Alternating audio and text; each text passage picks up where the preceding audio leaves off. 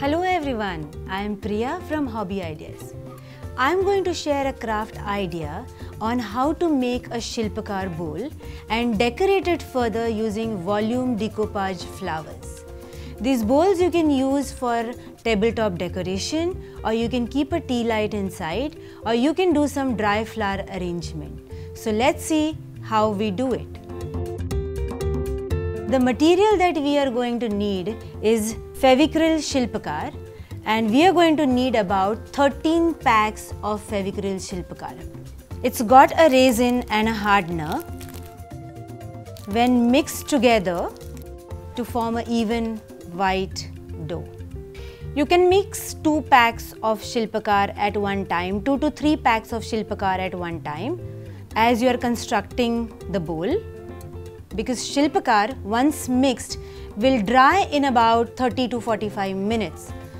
So as and when you need to construct something, you need resin and hardener together then.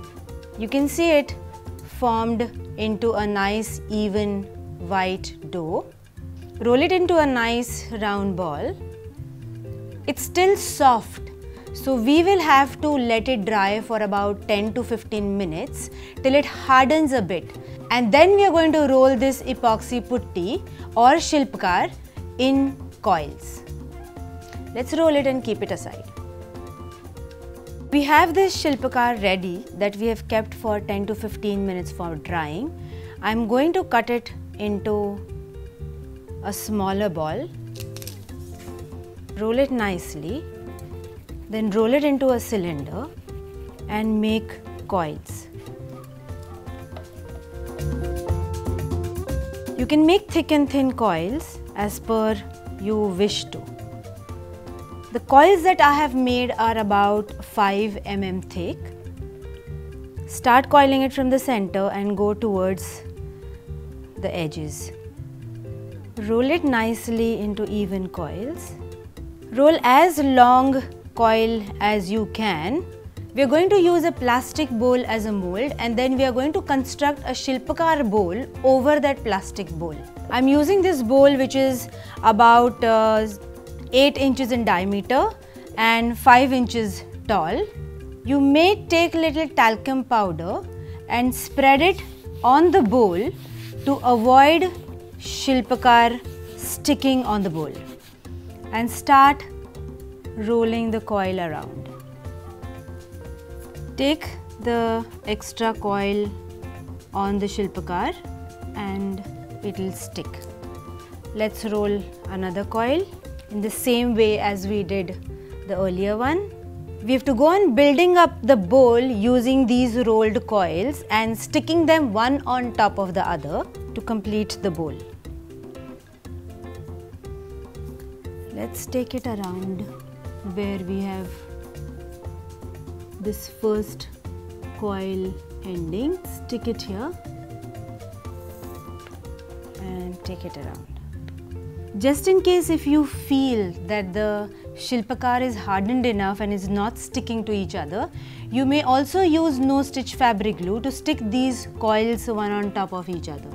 But if shilpkar is properly wet then you don't need to use the glue so using these coils, we will go on building up the bowl around this plastic bowl which is used as a mold and I will show you the one that we have ready. We have this full bowl ready that I am going to color using water based glass colors. Before I color it using water based glass colors, I am going to add one coil of shilpakar and pierce some holes because I need to do the decoration using craft wire. So let's roll a coil. I have a shilpakar resin base and hardener kneaded properly. And we will stick it on top of this bowl. So the topmost layer of shilpakar here is already dried but since we are using a wet shilpakar coil on this, there is no problem with the sticking. It will stick nicely. And join the ends. And we will make the holes using toothpick. I'm going to pierce some holes here with a gap of about 1 inch.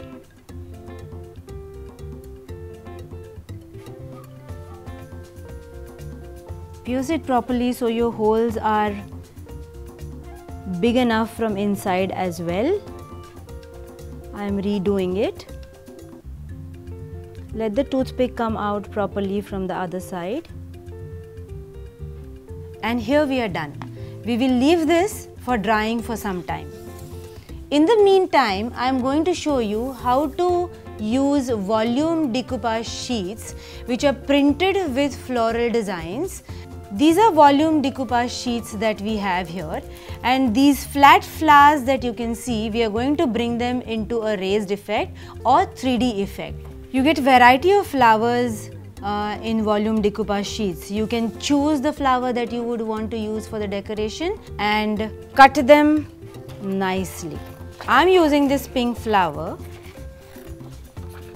and cut it nicely along the edges of the flower.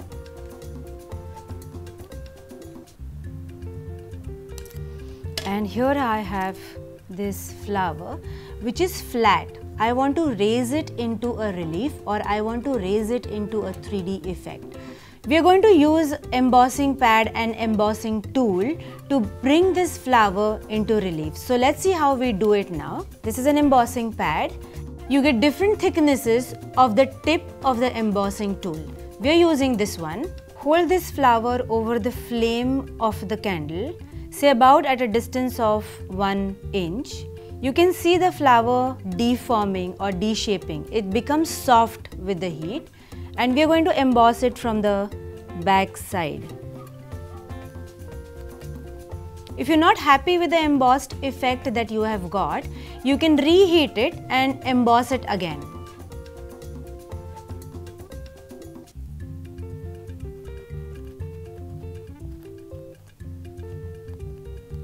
And I have this embossed flower ready. We have some ready embossed flowers that we are going to use to decorate our bowl. So we have this bunch of embossed flowers ready with us. Before we go ahead on sticking these flowers and coloring the bowl, I am going to use some wire spirals for decorating this bowl. So I'll show you how to make these spirals using craft wire. I have this golden colored craft wire.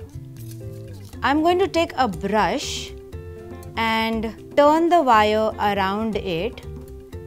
So we will need about 8 to 10 such spirals made from the craft wire and I will color the bowl now. So we're going to use water based glass colors and I want color shades like pink and blue because if I mix pink and blue I will get a little purplish color that will match these flowers that I have already embossed. So I have a blue color and I have a pink color. You can choose the colors. You may use a green color or a brown color, whatever color you choose. Pour this color in the palette. So let's take pink color. And then I'll add little strokes of blue just to give a nice uneven purple effect. Color the whole surface. You can give two coats. We have given one coat which is a lighter coat. So the second coat will make it look little brighter and darker. So I have one ready that I can show it to you now and we will keep this aside.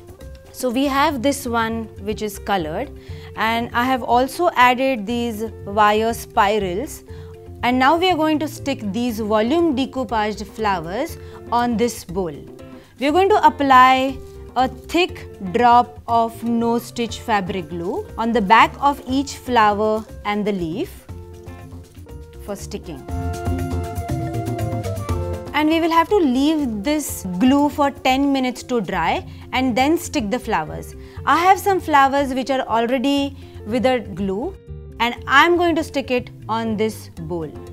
Do the arrangement of the flowers as per your choice with leaves spaced in between and go on sticking the flowers around and we have this beautiful bowl colored in glass colors and decorate it with these volume decoupage flowers.